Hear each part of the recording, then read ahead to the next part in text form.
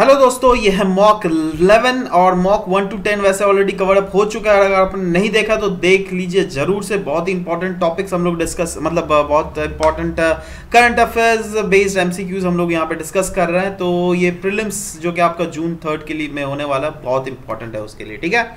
चलिए देख लेते हैं। पहला यहाँ पे क्वेश्चन है with reference to skill strengthening for industrial value enhancement that is STRIVE scheme which of the following statement is or are correct यहाँ पे क्वेश्चन आपको पूछा गया है, ठीक है? सो so, दोस्तों तीन दो स्टेटमेंट दिए गए बेसिकली तीन स्टेटमेंट्स है सॉरी है ना? पहला स्टेटमेंट है central sector scheme supported by World Bank दूसरा है incentivizes IIT to improve uh, overall performance by involving industry players.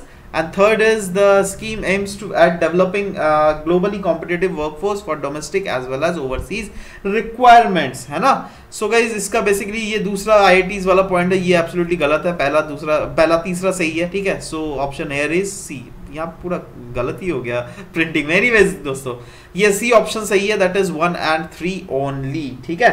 So that is what about return here that ये आई को है आई को नहीं है और वहाँ पे आई आई दिए गए थे, ठीक है? तो यहाँ पे थोड़ा कन्फ्यूज़न आपको क्रिएट कर दिया गया। तो anyways it is self explanatory so you can you know go through it by yourself itself right so the correct option is C है so let's come to the second option question number the 2017 Nobel prize in chemistry was awarded for वैसे ऐसे question आता नहीं है but still मैंने पूछ लिया, ठीक है? तो दोस्तों, ये चार ऑप्शन है तो सिंपल सा है, ये डेवलपिंग क्रायो इलेक्ट्रॉन माइक्रोस्कोपी अगर आपको पता होगा तो ये फैक्चुअल बेस्ड सिंपली क्वेश्चन है। ठीक है तो ए ऑप्शन इसका बिल्कुल सही है है ना? फैक्चुअल अगर आपको आता है तो आता है, नहीं आता है तो नहीं आता है। थर्ड नंबर क्वेश्चन देख लेते हैं। कंसिडर द फॉलोइंग स्टेटमेंट दो स्टेटमेंट दिए गए, आपको बोला गया which of the statement given above is or are correct ठीक है? So guys exercise Indira is annual military exercise between India and Russia जी हाँ दोस्तों, बिल्कुल सही है। Indira 2017 is the first tri service bilateral exercise between India and Russia जी हाँ दोस्तों first trilateral exercise भी था तो option C is the absolutely correct again ये भी करंट अफेयर का क्वेश्चन है और थोड़ा हल्का फैक्चुअल बेस था बट एनीवेज यहाँ पे आप तुक्का मार के सही कर सकते हो, ठीक है? सी ऑप्शन इसका बिल्कुल सही है। फोर्थ नंबर क्वेश्चन देख लेते हैं consider the following statement which of the statement given is above the correct ठीक है, तीन स्टेटमेंट दिए गए उसको हम पढ़ने वाले हैं दोस्तों। तो देखिए, पहला है folic acid is a man made supplement while folate occurs naturally in some citrus fruits folate is a part of vitamin b complex and is important a part of diet for pregnant women and folate helps to generate the red blood cells and thus the cells growth. Basically देखिए ये news article में था तो बहुत ही ज़्यादा you know सब uh, क्या बोलते हैं इसको? फैक्चुअल क्वेश्चन हो गया ठीक है? अगर आप पाते हैं तो पाते हैं नहीं पाते हैं तो नहीं पाते हैं। तो एनीवेज इसका सही ऑप्शन मैं बता दे रहा हूँ दोस्तों one two and three all the options given are absolutely correct है और सेल्फ एक्सप्लेनेटरी है just go through it right fifth number question है with reference to the project Chaman काफ़ी ज़्यादा न्यूज़ में रहता है। जितने भी मैंने प्रोजेक्ट्स है और जितने यू नो गवर्नमेंटल स्कीम्स है, उसके सबके कंपाइलेशन मैंने ऑलरेडी करवाए हुए आपको बार बार बता रहा हूँ जिसको नहीं पता, जो कि पहली बार जुड़ रहे हैं, उनके लिए इन्फॉर्मेशन दे रहा हूँ दैट दोस्तों गवर्नमेंटल स्कीम्स के कंपाइलेशन मैंने करवाए हुए हैं। गवर्नमेंट स्कीम वो भी क्या डिफरेंट मिनिस्ट्री वाइज जैसे मिनिस्ट्री ऑफ़ डिफेंस का मिनिस्ट्री ऑफ़ होम अफेयर्स का ministry of you know human resource and development का। तो अलग अलग का अलग अलग लेसन में मैंने करवाया हुआ बहुत ही इंपॉर्टेंट आपके प्रिलिम्स पर्सपेक्टिव में। अगर आपने नहीं देखा है तो नीचे यू नो मतलब डिस्क्रिप्शन में लिंक दिए हुए हैं, उसको क्लिक करके आप जाकर देख सकते हो। तो एनीवेज क्वेश्चन में आता है। प्रोडक्ट चमेंट के बारे में बोला गया स्टेटमेंट दिए गए, आपको पता रहा है that the correct select the correct answer using the code given below मतलब दो ऑप्शंस दिए हुए आपको बताना है कौन सा सही है, ठीक है?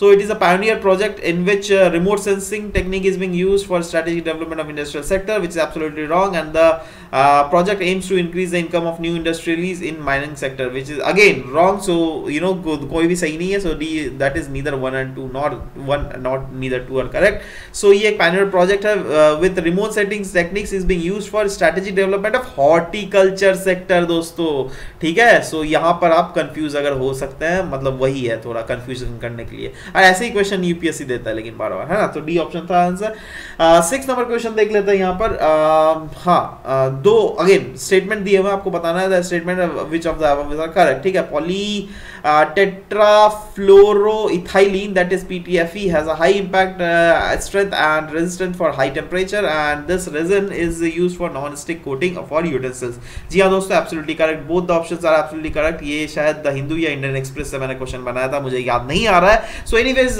सी ऑप्शन इसका दोनों करेक्ट है थोड़ा फैक्चुअल बेस्ड क्वेश्चन है सो या both the options are absolutely correct है and it is again self explanatory question where the details is being given and you can just go through it once है ना seventh number question is the report global estimate of modern slavery recently seen in news was produced by इसका तो आना चाहिए यार अभी इसका भी मैं बोलूँ क्या? हाँ तो देखिए दोस्तों, ये वैसे अगर ये ध्यान में रखना चाहिए that international level organisation and Walk Free Foundation दोनों के द्वारा मिलकर ये बनाया जाता है, ठीक है? So this is C option is the correct answer here Eight number question is consider the following statement about the adopt heritage scheme recently फिर अगेन मैंने स्कीम में कड़वा दिया गवर्नमेंट स्कीम कंपाइलेशन में। ठीक है? तो अगेन बहुत ही बार बार बता रहा हूँ, बहुत ज़्यादा इंपॉर्टेंट है। तो एनीवेज इस स्टेटमेंट दिया हुआ है दो अडॉप्ट हेरिटेज स्कीम के बारे में आपको बताना है that which of the following statement is of the correct ठीक है?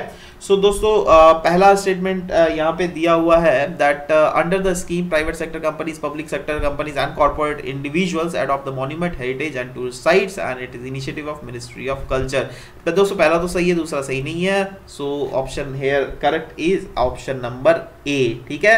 और दोस्तों ये बेसिकली मिनिस्ट्री ऑफ़ टूरिज़्म द्वारा यू नो लॉन्च किया गया है। यहाँ पे आपको दे दिया गया मिनिस्ट्री ऑफ़ कल्चर द्वारा ठीक है? सो यहाँ पर कंफ्यूजन थोड़ा इन्होंने क्रिएट कर दिया। और यही यही सब कंफ्यूजन यू नो आपको पेपर में भी देखने को मिलेगा। गारंटी दे रहा हूँ तीन आ, तीन जून को है ना? तो अगर आप उससे बचना चाहते हो तो यू नो कर लीजिए गवर्नमेंटल स्कीम के कंपाइलेशन और इसके लिंक बिल्कुल डिस्क्रिप्शन में नीचे दिए हुए हैं। और साथ ही साथ दोस्तों जो जो नए जुड़ रहे हैं उनके लिए भी बता देना चाहता हूँ। दैट इकोनॉमिक सर्वे ट्वेंटी के फ्री क्लासेस आपको मिलेंगे, है ना? जो कि अभी तक कोई भी प्लेटफॉर्म में अवेलेबल नहीं है तो ये मैंने करवाया हुआ है तो बिल्कुल फ्री ऑफ़ कॉस्ट है, एक भी पैसा आपको नहीं लग रहा, जाकर आप देख सकते हो। तो चलिए, मिलता है नेक्स्ट क्लास में bye take care thank you for listening to the whole video guys thank you very much और हो सके तो ज़्यादा से ज़्यादा शेयर कर दो यार, जितना शेयर करोगे, उतना थोड़ा मोटिवेशन मिलता है मेरे को।